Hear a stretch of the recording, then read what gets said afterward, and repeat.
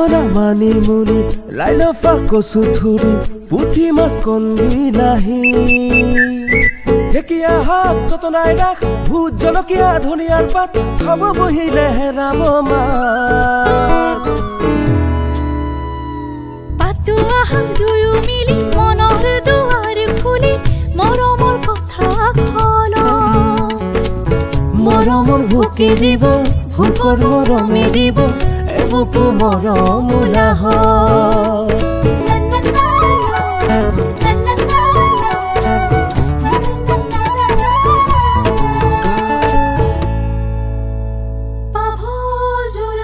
Supported বাই ভোগালী জলপান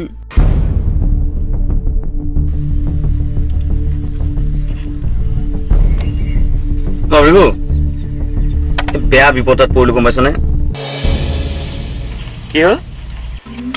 এই যে খানা বনোৱা শ্ব'টো যে আছে হেৰি পাভযোৰা অঁ তো কি হ'ল কেছটো মানে তাত মোক মাতিলে ইনভাইট কৰিলে মই যাম বুলি কৈ দিলোঁ। তাতেতো কাপল যায় ন তাতে মোৰ ফিয়াঞ্চি আছে বুলি কৈ দিলোঁ। এতিয়া ফিয়াঞ্চি বাৰ্থডেটো জানো মোৰ গাৰ্লফ্ৰেণ্ড এজনীও নাই। তো বেয়া বিপদত পৰিছে মানে কণ্টিনিউৱাছলি ফোন কৰি আছে ফোনৰ ওপৰত ফোন ফোন গোটেই সোপা ইউনিটত ৰখি আছে। এতিয়া মোক মাতিছে মই এতিয়া কি কৰোঁ পাগল হৈ গৈছোঁ। কিন্তু কিবা আইডিয়া দেচোন তই। শুন মইতো গাই দিয়া ভডাফোন একো দিব নোৱাৰো। আৰে মোৰ নিজৰে নেটৱৰ্ক নাই। আৰে মইতো মাথা মাৰি আছো ন মাথাটো মাৰি মাৰি ভাঙিল নাই তই ক'ৰবাত ৰচোন তোৰ কি একে অৱস্থা নেকি অ ৰে তই ঠিকেই বুজিছ তোৰে মোৰ একেই কাহিনী আৰে শ্ব'টোত মোকো মাতিছিল তোক মইনো কি ক'ম তোৰে মোৰ এতিয়াতো কাহিনী কি কৈ দিলো নাযাওঁ বুলি আচ্ছা শুনচোন তোৰে মোৰে ইমান কেনেকে মিলেও ৰচোন ৰ ৰ। এই তোৰ মোৰ মিলে বুলি কওঁতে কথা এটা মনত পৰিলে আমি দেখোন তালৈ পাব যোৱা হৈ যাব পাৰো অঁ স্নেকো মৰিব আৰু নাতিও নাভাঙে মীনাক্ষী বা এবাৰ মানি লয় নলয় আমাক পাভযোৰা শুন এই মনোৱা চনোৱা এইবিলাক মোৰ দেৰি দে ছোৱালীক কেনেকে বনাব লাগে ভালকে জানে। মীনাক্ষীক মই পতাই ল'ম। তই খালি যেনেকে আছ তেনেকে ওলাই আহ। অ শুনচোন। এই মীনাক্ষী নে কি কেনেকুৱা বৰ দেখিবলৈ? ধুনীয়া নে? আকৌ আৰম্ভ হৈ গ'ল ন?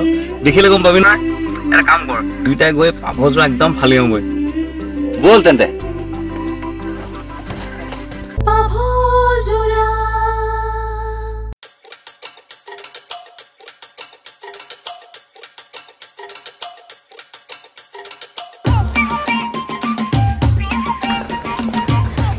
ৰাকেশ আহিলা ইমান দেৰি কৰিলা?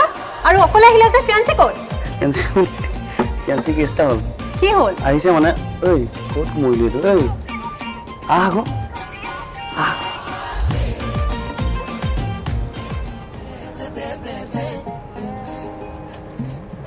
আৰে এইজন আকৌ কেনেকুৱা ফিয়ান্সি আৰু মুখখন যে ঢাকি আহিছে? কিহৰ কাণ ফুচফুচনি? আৰু এওঁ কোন? আৰে ভৃগু তোমাকতো মই বেলেগ এদিনহে মাতিছিলো আৰু তোমাৰ ফিয়ান্সি ক'ত ফিয়ান্সিৰ লগতহে মাতিছিলো। মীনাক্ষী বা আমাৰ ফিয়ঞ্চিটো বাদেই দিয়ক। আমাৰ গাৰ্লফ্ৰেণ্ডৰ গ'লটোৱেই নাই। আমি মিছা মাতিছিলো। হেৰি মই পাভ মই যোৰা আৰু আমি দুই একেলগে পাভ যোৰা হ'বনে? নহ'ব বুলিতো ক'ব নোৱাৰো কাৰণ শ্ব' মাছ গ অন গতিকে দৰ্শকসকল গমটো পাইছে আজি আমাৰ পাভযোৰাত কোন আহিছে? হয় নৱপ্ৰজন্মৰ অতিকৈ জনপ্ৰিয় গায়ক এজন হৈছে ৰাকেশ ৰিয়ান আৰু আনজন ভৃগু কাশ্যপ। গতিকে এওঁলোক দুজনক স্বাগতম জনাইছোঁ। অৱশ্যে আজি কিন্তু এওঁলোকে ভাল অভিনয়ো কৰিছে দেই। স্বাগতম জনাইছোঁ তোমালোক দুজনকে। প্ৰথমে বহিব দিওঁ। উম, বহা বহা। থেংক ইউ ধন্যবাদ। ৰ'বা আহিছা আহি যেতিয়া মোৰ চাহ বনোৱাই আছে। প্ৰথমে গৰমে গৰমে একাপ চাহ খোৱা। অঁ ৰ'বা। নিশ্চয়। কি খাবি?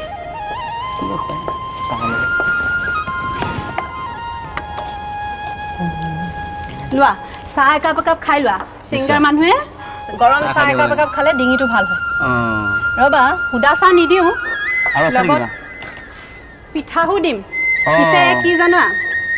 এয়া অঁ এয়া আকৌ সাধাৰণ পিঠা নহয় দেই একেবাৰে মই ক'ৰ পৰা আনিছোঁ কোৱাচোন? ভোগালী জলপানৰ পিঠা। অসম বিখ্যাত পিঠা। অসম বিখ্যাত ৰ'বা ময়ো একাপ চাহ খাওঁ।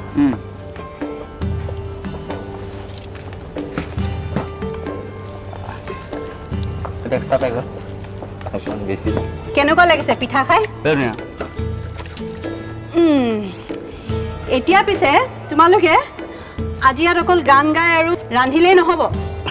মোৰ হাতত কিন্তু বহুত প্ৰশ্ন আছে। প্ৰশ্ন পাভ। পাভযোৰা হৈছা নহয় তোমালোকে? এতিয়া পাভযোৰাৰ প্ৰমাণ দিব লাগিব। কিমান ইজনে সিজনক জানা? সাজুনে তেতিয়াহ'লে? ঠিক আছে। আচ্ছা প্ৰথম প্ৰশ্নটো মই ৰাকেশলৈ কৰিম ঠিক আছে ৰাকেশ? তুমি কোৱাচোন ভিভুক যদি ডেছক্ৰাইব কৰিব লাগে এটা শব্দত। এটা শব্দত। ষ্টাইল আইকন বাহ হয়নে? একদম পাৰফেক্ট নে? পাৰফেক্ট পাৰফেক্ট কৰিছে। মানে সেইটো ৰাকেশে দিয়া নাম। নিজকে তেনেকে ক'বলৈ দিগদাৰ লাগেতো সেই দিয়া নাম বন্ধুৱে যদি দিছে য়েছ হয়। তাৰপিছত আম, কোৱা যায় ন? প্ৰেমে কোনো বয়স নামানে। প্ৰেম যেতিয়া তেতিয়া হৈ যাব পাৰে। প্ৰেমৰ কোনো বাধা নাথাকে। ইত্যাদি ইত্যাদি। প্ৰেমৰ লগত ঢেৰ কথা ক'ব পাৰি। বিশেষকৈ ভৃগু কাশ্যপৰ আৰু প্ৰেমৰ মাজত বহুত ধুনীয়া এটা সম্পৰ্ক আছে। গতিকে মোৰ প্ৰশ্নটো হৈছে যে ভৃগু কাশ্যপে কাৰ প্ৰতি বেছ- বেছিকৈ আকৰ্ষিত হয়? প্ৰথম এক নম্বৰ হৈছে ভৃগু কাশ্যপতকৈ ডাঙৰ ছোৱালীলৈ আৰু দ্বিতীয়টো হৈছে ভৃগু কাশ্যপতকৈ সৰু সৰু বয়সৰ ছোৱালীলৈ। কি হ'ল? ইমান হাঁহি ওলাইছে? নাম নকওঁ। নাম নালাগে ক'বলৈ একদম কিন্তু সঁচাকে ক'বা একদম ডিপ্ল'মেটিকেলি আনচাৰ দিলে নহ'ব দেই। শেহতীয়া শেহতীয়া যিখিনি মানে কি বুলি কয় এইটো? খবৰ মতে খবৰ মতে শেহতীয়া গোপন সূত্ৰটো নহয় বাৰু মইতো গোটেই গোপন সূত্ৰবিলাক মই গম পাওঁৱেই। তো নিজতকৈ অলপ বয়স বয়সত ডাঙৰ। ডাঙৰৰ প্ৰতি বেছি আকৰ্ষিত আকৰ্ষিত হৈ আহিছে। উম, ৰিচেণ্টলি আপোনাৰ টাইম আহেগা বহুত হাত বহুত হাত। ঠিক আছে এতিয়া তৃতীয় প্ৰশ্নটোলৈ যাওঁ। এতিয়া তৃতীয়টো প্ৰশ্ন হৈছে ভৃগু কাশ্যপক যদি ভগৱানে ছোৱালী বনালে হয় তেতিয়াহ'লে ভৃগু কাশ্যপে কোনগৰাকী অভিনেত্ৰী হৈ জীয়াই থাকিবলৈ ইচ্ছা কৰিলেহেঁতেন?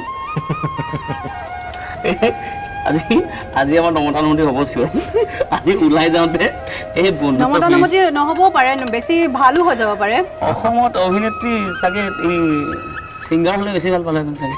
ছিংগাৰ কোনগৰাকী? নাই সেইটো নকওঁ। কি হ'লে? নে তুমি নাজানা? এইটো কিহৰ পাভযোৰা এনেকে পাভযোৰা নহ'ব দেই। এক্ট্ৰেছ হ'লে মেবি আমাৰ ভৃগুৰ ৰিচেণ্ট ফেভৰেট মই জানো আমাৰ সকলোৰে মৰমৰ ৰিম্পী বা। আচ্ছা ৰিম্পী দাস হৈ জীয়াই থাকিলে হয়? থাকিলেহেঁতেন চাগে। খুব ফেভৰেট বুলি কয় সি। ভাল ফটো চটো লগাই।